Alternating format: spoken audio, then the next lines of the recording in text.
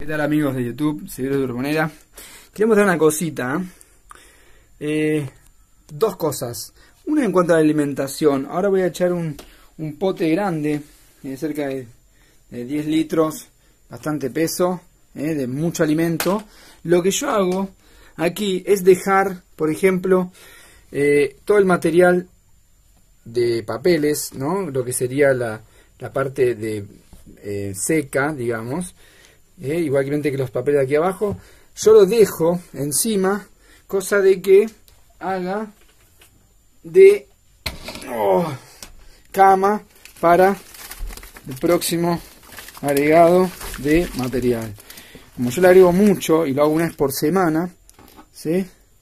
aquí tenemos bastante material. ¿eh? Vamos a, esparcirlo. ¿sí? Entonces, la parte de abajo de, de, los papeles va a ser de cama para que no afecte tanto si hay algún desequilibrio a lo que acabamos de echar. Esperen que voy a cargar de agua el, el balde y vengo. Bien, acá tenemos agüita. Vamos a enjuagar el, el pote, este, con todo su material aquí. He echado unos 2 litros de agua, un poco más para lavar este pote que estará una semana más en la cocina. Muy bien. Vamos por ahí. Vamos a echar este agua dentro del compostador. Se ha absorbido lo que sobre. El pote está limpio. Y abajo comenzará a drenar, como siempre, en un rato el exceso de humedad. Un tip importante que he descubierto, en realidad me lo han pasado hace poquito, para aquellos que tenemos problemas de moscas, y bastantes problemas de moscas, es tapar el material, ¿sí?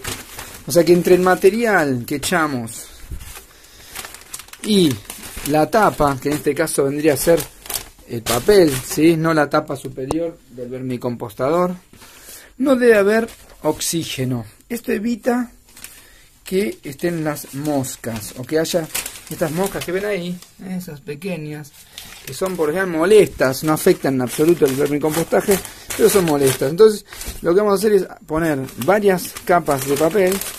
Eh, miren, acá hay varias, miren, ahí hay algunas, eh, acá hay otras. Eh.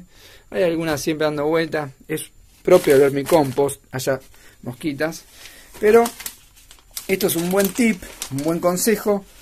¿eh? Poner algunas capas de papel tapando. Puede ser también algún eh, material eh, orgánico, como una, una bolsa arpillera o algo parecido, que permita el, pasaje de oxígeno, o, poco, en realidad no es tanto el pasaje de oxígeno, sino más bien, sí, que el pasaje de oxígeno pero que tape bien el material. Ahora lo que vamos a hacer es, bien, aquí puse cuatro capas de papel, ¿sí? Tapé todo bien.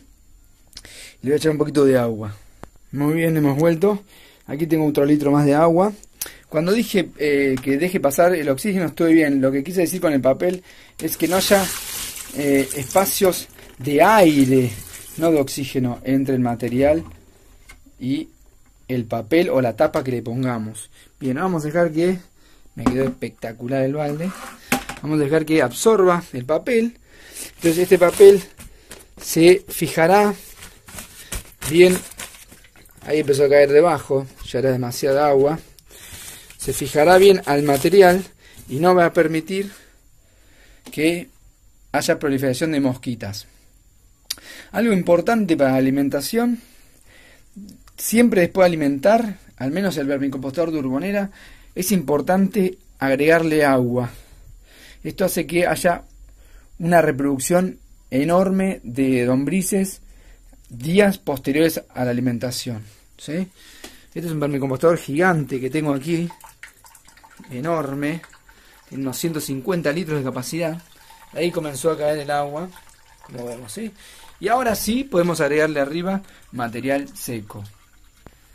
Bien, como vamos a ver, aquí acabo de cortar y romper bastante papel, ¿sí? Lo que tenemos que generar aquí es, ahora sí, luego de la capa que hemos visto, la capa de papel bien apelmazado contra el alimento o los residuos orgánicos, ahora sí, una capa que evite, ¿sí?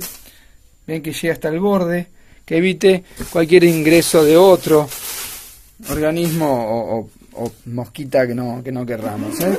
Cerramos nuevamente la tapa y yo lo dejo así. Como saben, yo alimento por semana, podemos hacer cada 3-4 días, todos los días, eso no es inconveniente. ¿sí?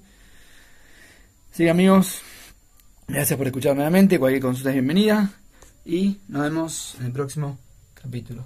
Hasta la próxima.